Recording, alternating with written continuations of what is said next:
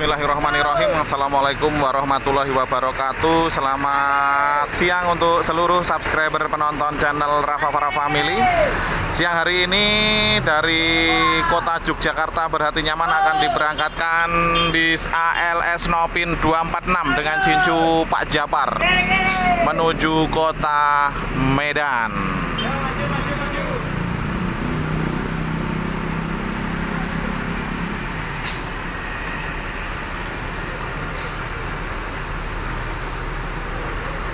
Hari ini hari Minggu ya, tanggal 3 Oktober tahun 2021. Tepatnya pukul setengah sebelas. Mana? Udah di dalam kayaknya. Oh. Harus. Yuk. Oh, ini ya.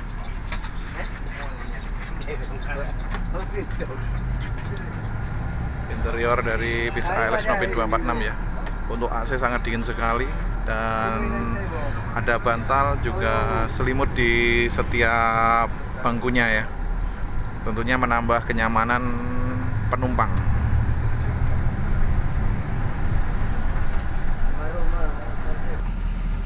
Untuk jarak seat antara depan dan belakang itu jaraknya sangat luas sekali ya. Luas sekali. Sangat recommended untuk perjalanan jauh.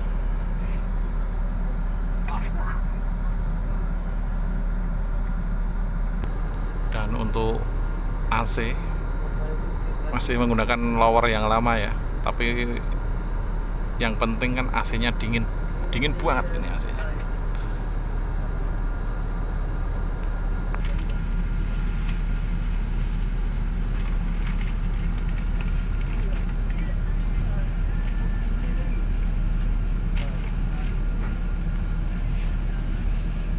Kenapa ini abangnya ini?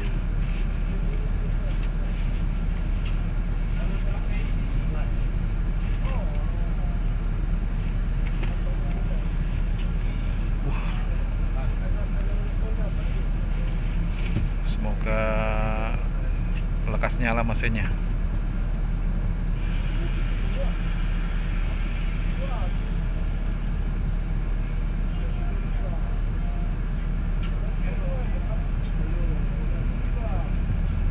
Terbaik untuk abangku, semoga lekas nyala mesinnya.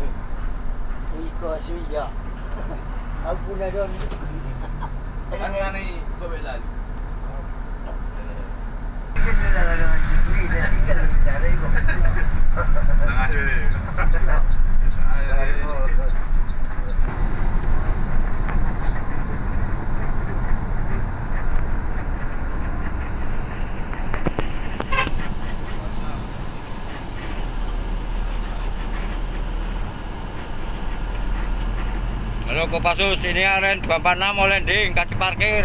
Paten ketua. Jangan diumpat, yo. Terima kasih.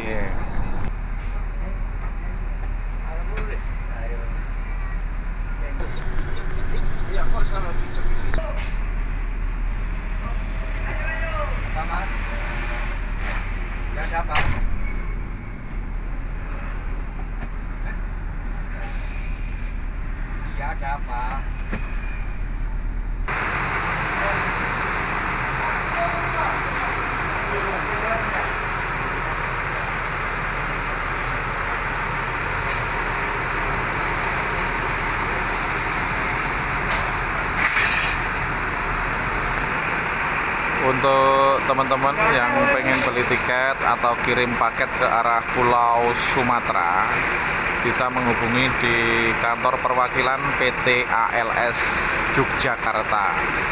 Di nomor telepon 0274375965 tentunya di Jalan Perintis Kemerdekaan 12 Kota Yogyakarta Adapun harga tiket dari kota Yogyakarta menuju kota Medan seharga Rp680.000.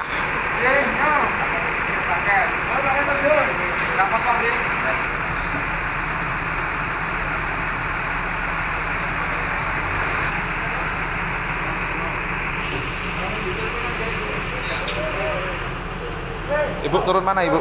Saran. Kisaran. Asli kisaran Ibu? Iya. Oh, terus ini ke Jawa Ikut suami. kerja. Enggak, ikut jadi rum anu lah. Pembantu dia.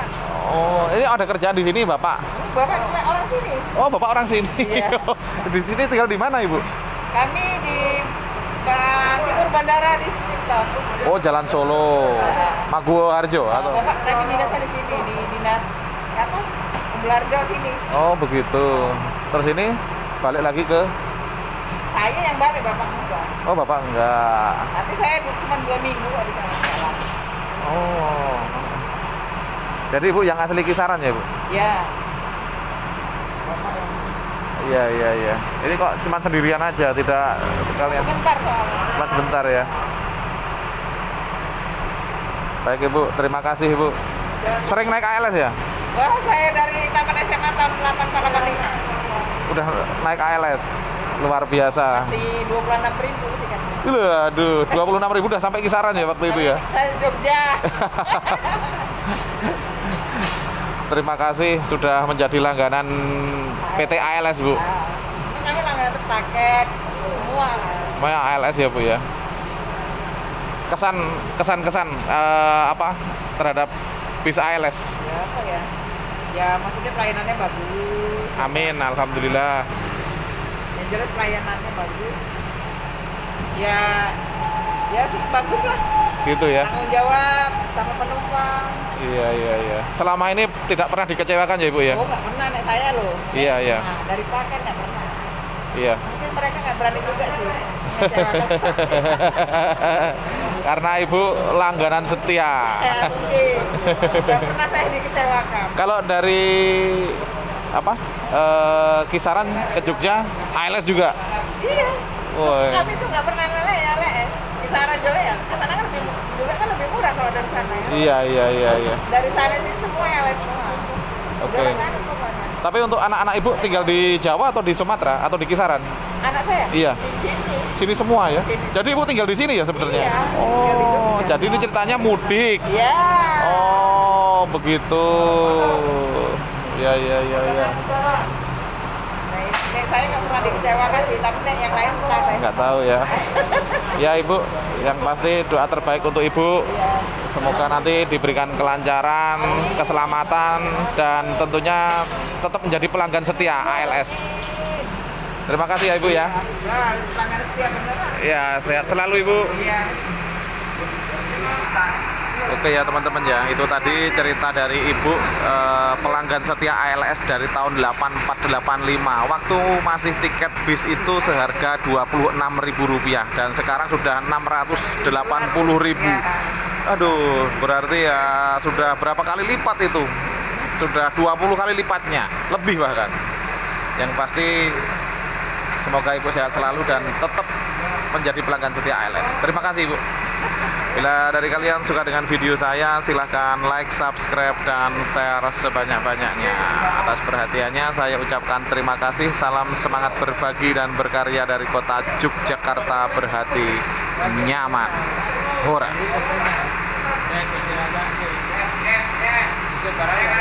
ya.